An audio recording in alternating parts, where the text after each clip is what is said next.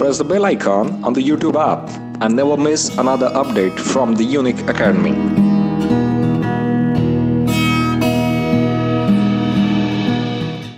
नमस्कार. बायोलॉजी या विषयाच्या या दुसऱ्या व्हिडिओ लेक्चरमध्ये आपलं स्वागत आहे. या आधीच्या व्हिडिओ लेक्चरमध्ये आपण बॉडी फ्लुइड्स अँड सर्क्युलेशन अर्थात रक्ताभिसरण संस्था या प्रकरणाचा अभ्यास करायला सुरुवात केलेली होती. ज्यामध्ये आपण तीन महत्त्वाच्या बाबी सुरुवातीच्या पहिल्या लेक्चरमध्ये डिस्कस केलेल्या होत्या. ज्यात सगळ्यात पहिल्यांदा आपण ओपन सिस्टीम आणि क्लोज सिस्टीम याचा अभ्यास आपण केलेला होता. याच्यातील फरक आपण समजावून घेतला होता. ज्यालाच खुली संस्था आणि बंदिस्त संस्था असं म्हटलं जातं.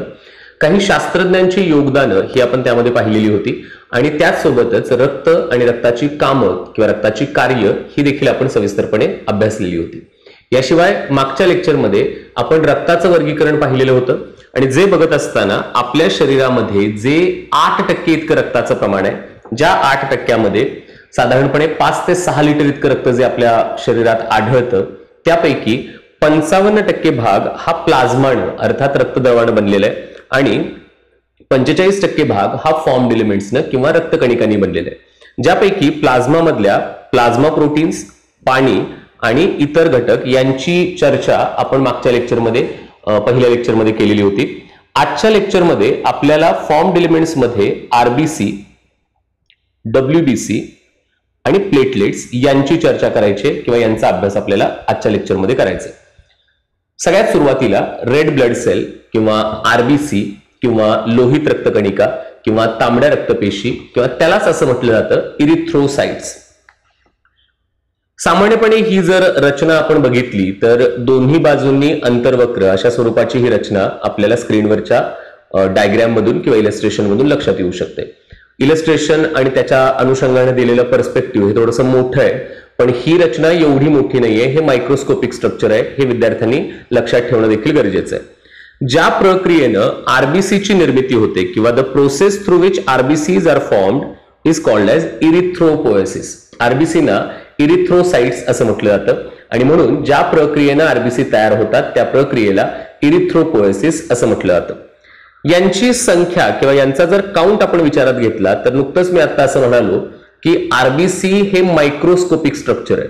जरी इलस्ट्रेशन मोठं आपल्याला दिसत असलं तरी ते तेवढं मोठं नाहीये. याची कल्पना जर करायची असेल किंवा याचा जर अंदाज आपल्याला घ्यायचा असेल तर एक सोपा पर्याय त्यासाठी हा आहे. की एक मिलीमीटर बाय एक मिलीमीटर बाय एक मिलीमीटर व्हॉल्यूमचा जर आपण क्यूब बनवला आता हा क्यूब किती छोटा असेल याची कल्पना तुम्ही करू शकता. कदाचित या पेनाच्या टोकावरती देखील तो क्यूब बसेल इतका छोटासा तो क्यूब असेल. आणि या एका छोट्याशा क्यूबमध्ये किती आरबीसीज आहेत? तर four point eight to five point four million अर्थात दशलक्ष प्रति एम एम क्यूब म्हणजे त्या एका छोट्याशा एक मिलीमीटर व्हॉल्यूमच्या क्यूबमध्ये फोर पॉईंट एट अर्थात चार पॉईंट आठ ते पाच पॉईंट चार दशलक्ष इतके आरबीसीज आहेत. दुसऱ्या शब्दात जर बोलायचं झालं तर त्या एका छोट्याशा क्यूबमध्ये अठ्ठेचाळीस ते चोपन्न लाख इतके आरबीसी असलेल्या आपल्याला पाहायला मिळतात. सो हे किती छोटं स्ट्रक्चर आहे हे त्याच्यावरून लक्षात येईल. आरबीसीची निर्मिती कुठं होते? तर आरबीसीची निर्मिती ही प्रामुख्यानं बोन मॅरोमध्ये होते. यालाच मराठीमध्ये अस्थिमज्जा असंही म्हटलं जातं.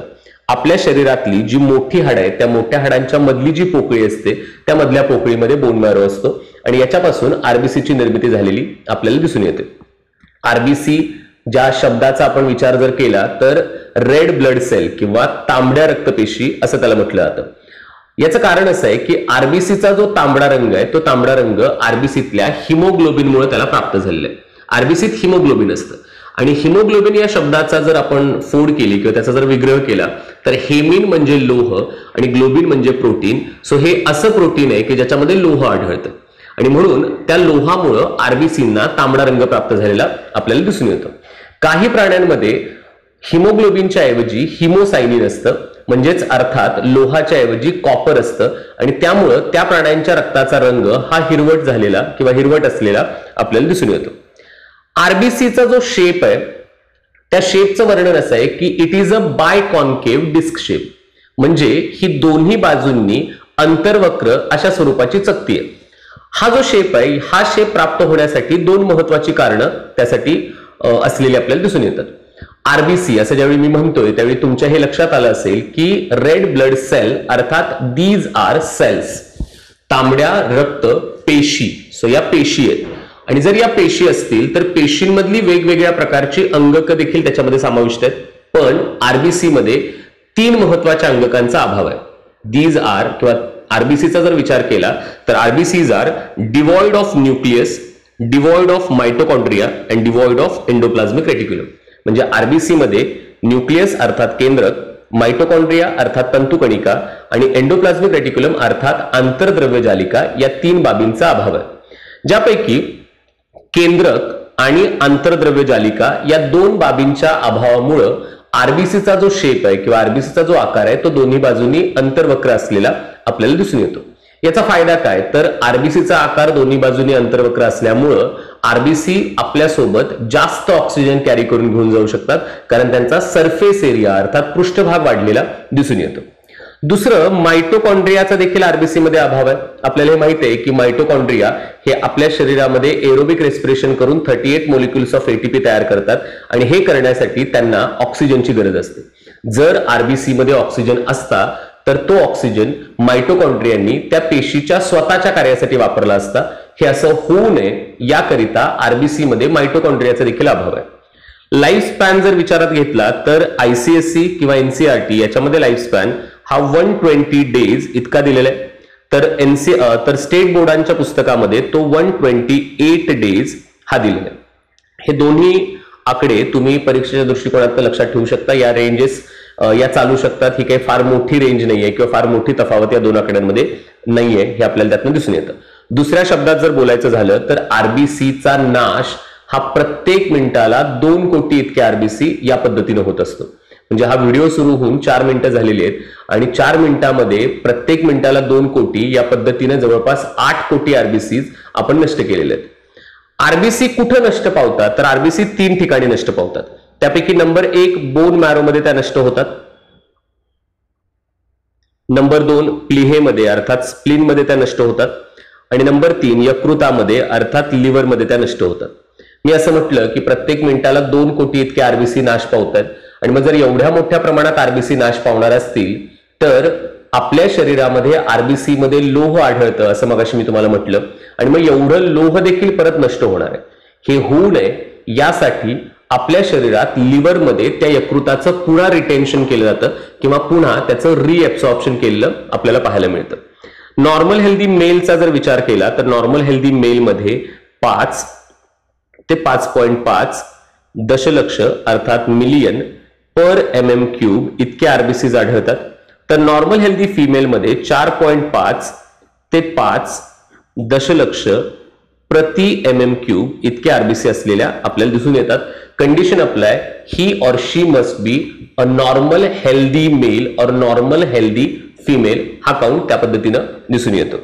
जर आरबीसीचा काउंट अपसामान्यरित्या वाढला म्हणजे ॲबनॉर्मली तो जर इन्क्रीज झाला तर त्या कंडिशनला पॉलिसायथेमिया असं म्हटलं जातं. आणि जर हा काउंट ऍबनॉर्मली कमी झाला अपसामान्यरित्या तो जर घटला तर त्याला इरिथ्रोसायटोपेनिया असं म्हटलं जातं. सामान्यपणे शरीर श्रमाची कामं करणाऱ्या व्यक्तींमध्ये आरबीसीचा काउंट वाढलेला दिसून येतो. तर विश्रांतीच्या समयी आरबीसीचा काउंट कमी झालेला आपल्याला पाहायला पाहायला मिळतो. गरोदर स्त्रिया आणि अर्भक यांच्यामध्ये देखील आरबीसीचा काउंट हा वाढलेला दिसून येतो.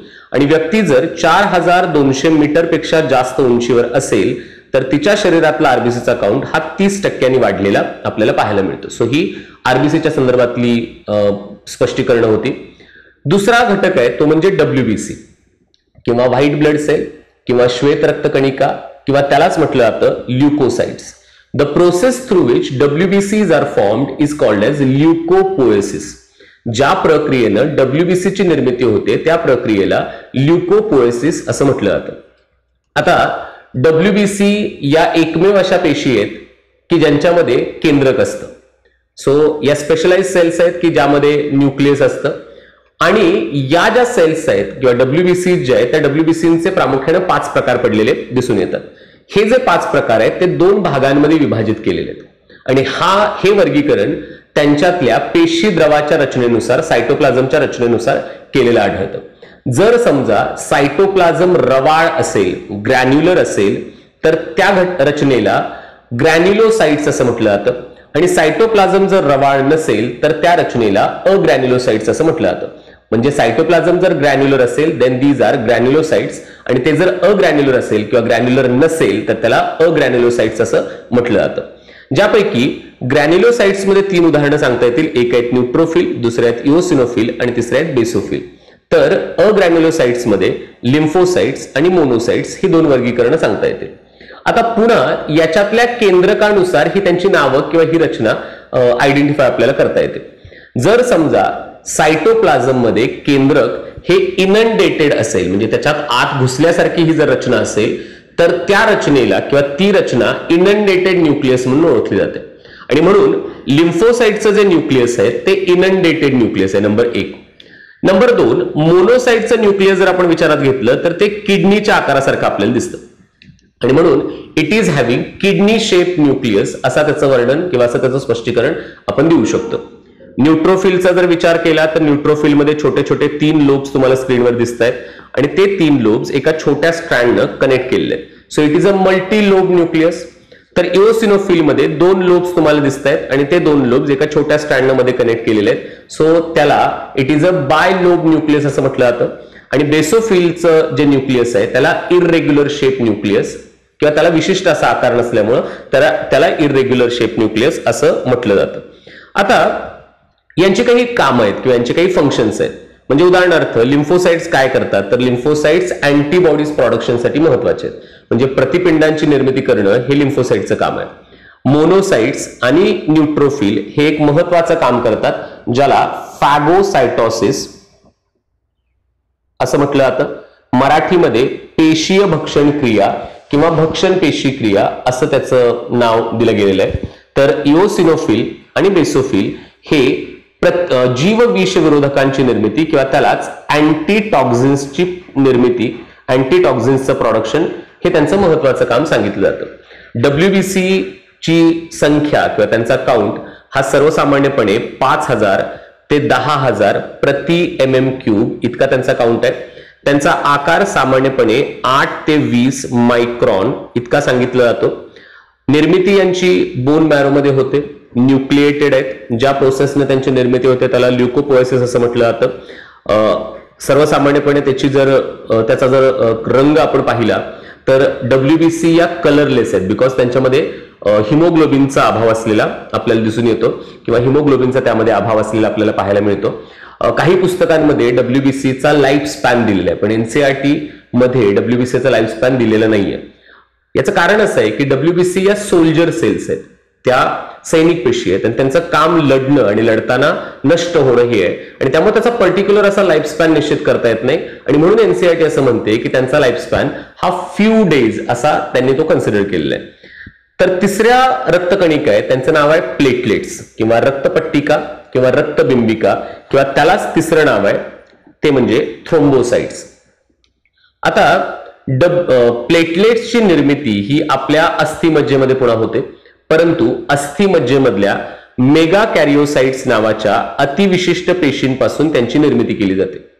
प्लेटलेट्स आपल्या शरीरामध्ये रक्त गोठण्याच्या प्रक्रियेसाठी आवश्यक आहे क्लॉटिंग ही जी प्रोसेस आहे या प्रोसेसकरिता प्लेटलेट्सची आवश्यकता असते.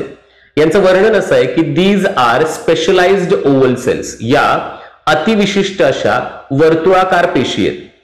यांचा आकार हा सर्वसामान्यपणे दोन ते चार मायक्रॉन इतका असलेला आपल्याला पाहायला मिळतो. तर यांचा नॉर्मल काउंट हा अडीच लाख ते चार लाख इतका असलेला आपल्याला त्यांचा काउंट पाहायला मिळतो. रक्त गोठण्याची जी प्रक्रिया आहे ती रक्त गोठण्याची प्रक्रिया ही प्रामुख्याने चार टप्प्यांमध्ये घडलेली आपल्याला दिसून येते. ज्याच्यातला सगळ्यात पहिला टप्पा असा आहे की ज्यावेळी आपल्याला जखम होते त्यावेळी प्लेटलेट्स एक सबस्टन्स रिलीज करतात. ज्याचं नाव आहे थ्रोम्बोप्लास्टिन. त्यालाच दुसरं नाव आहे थ्रोम्बोकिनेज किंवा त्यालाच आणखी एक नाव आहे फॅक्टर टेन. ज्यावेळी हा सबस्टन्स रक्तामध्ये येतो किंवा थ्रोम्बोप्लास्टिन ज्यावेळी रक्तामध्ये येतं त्यावेळी थ्रोम्बोप्लास्टिनच्या मदतीनं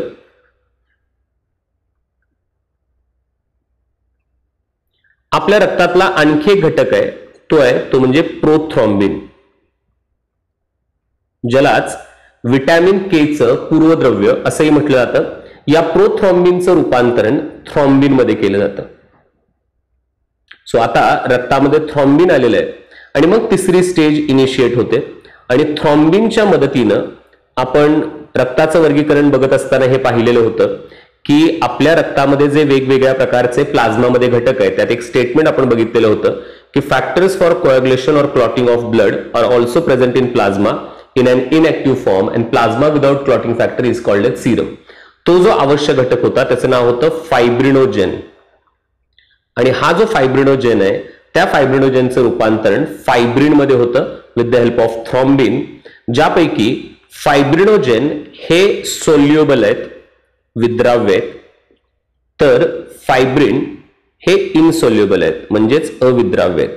सो अशा अविद्राव्य अशा धाग्यांमध्ये फायब्रिनमध्ये याचं रूपांतरण होतं. आणि मग चौथी स्टेज इनिशिएट होते की ज्यामध्ये फायब्रिन प्लस ब्लड कॉर्पुसल यांच्या माध्यमातून रक्ताची गुठळी तयार होते किंवा क्लॉट तयार झालेला आपल्याला पाहायला मिळतो. ही संपूर्ण प्रक्रिया आपल्याला जखम झाल्यानंतर दोन ते पाच मिनिटांमध्ये कंप्लीट होते. पण ही प्रक्रिया पूर्ण होण्यासाठी रक्तामध्ये विटॅमिन के ची जरुरी असणं आवश्यक आहे. आणि त्याचबरोबर रक्तामध्ये सी ए टू प्लस किंवा सी ए प्लस प्लस आयन्सची देखील जरुरी असणं आवश्यक आहे. आपल्या शरीरातलं रक्त जे प्रवाहित आहे ते गोठू नये याकरिता एक नॅचरल अँटीकोॲग्युलेट आपल्या शरीरामध्ये असतं ज्याचं नाव आहे हिपॅरिन तर रक्तपेढ्यांमध्ये किंवा ब्लड बँकमध्ये जे रक्त स्टोअर केलेलं आहे ते गोठू नये याकरिता तिथं सोडियम ऑक्झलेट किंवा सोडियम सायट्रेट याचा वापर केला जातो. ज्यापैकी हिपॅरिन हे विटॅमिन के ची निर्मिती ब्लॉक करतं.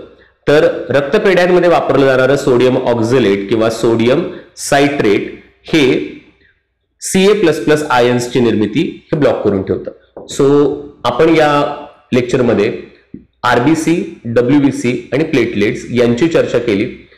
एकूणच यांची आपल्या शरीरामध्ये कशा प्रकारची आवश्यकता आहे किंवा कशा प्रकारचं महत्त्व आहे हे आपण याच्यामध्ये पाहिलं.